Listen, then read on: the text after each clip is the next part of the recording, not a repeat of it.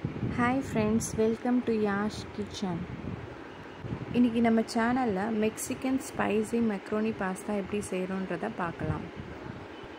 நம்ம two hundred gram பாஸ்தாவில் தான் செய்ய போகிறோம் ஸோ அதுக்கு தேவையானதை நாலு தக்காளி ரெண்டு வெங்காயம் பச்சை மிளகா காரத்துக்கு ஏற்ற மாதிரி ஆட் பண்ணிக்கோங்க. நெக்ஸ்ட் மிளகாத்தூள் ஜீரகத்தூள் மிளகுத்தூள் கரம் மசாலா மஞ்சத்தூள் இஞ்சி பூண்டு பேஸ்ட் சில்லி ஃப்ளேக்ஸ். நெக்ஸ்ட்டு தண்ணியில் நம்ம உப்பு போட்டு பாஸ்தாவை நல்லா வேக வச்சிடலாம். இப்போ நம்ம டூ ஹண்ட்ரட் கிராம் பாஸ்தாவுக்கு ஃபிஃப்டி எம்எல் ஆயில் எடுத்திருக்கோம். அதில் நறுக்கி வச்சுருக்க வெங்காயத்தை நல்லா போட்டு செவந்து வர வரைக்கும் நல்லா வதக்கிடுங்க.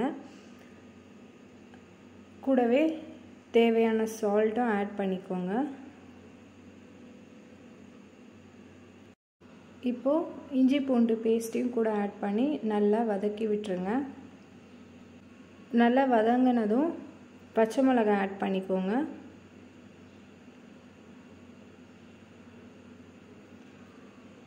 நல்லா கிண்டி விட்டுருங்க. இப்போ நறுக்கி வச்சுருக்க தக்காளியை மிக்சியில் நல்லா கிரைண்ட் பண்ணி பேஸ்ட் ஆக்கி இந்த மாதிரி சேர்த்துடுங்க.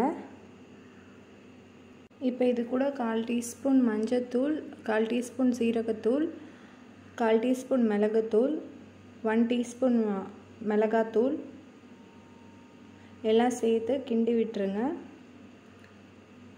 லாஸ்ட்டாக சில்லி ஃப்ளேக்ஸும் ஆட் பண்ணிவிடுங்க ஆட் பண்ணி நல்லா கிளறி விட்டுருங்க. இப்போ பாஸ்தா நல்லாவே வெந்துடுச்சு. இப்போ இது ஒரு வடிகட்டியில் தண்ணி இல்லாமல் வடிகட்டி வச்சுக்கோங்க. நெக்ஸ்ட்டு வேக வச்ச பாஸ்தாவை இந்த கிரேவியோடு போட்டு நல்லா மிக்ஸ் பண்ணிவிடுங்க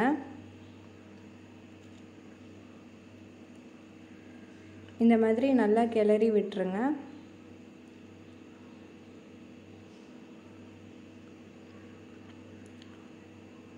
ஸோ இந்த அளவுக்கு கிளறின பிறகு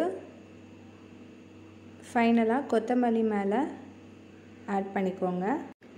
Mexican spicy macaroni pasta ready in case உங்களுக்கு சீஸ் வேணும்னா நீங்கள் மேலே சீஸும் ஆட் பண்ணிக்கலாம்.